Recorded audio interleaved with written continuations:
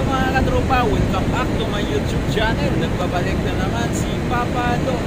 Ngayon mga katropa, ipapasok kami ngayon sa sa port mga katropa, sa Hulan. Kaya ito mga katropa. Harap natin mga katrops.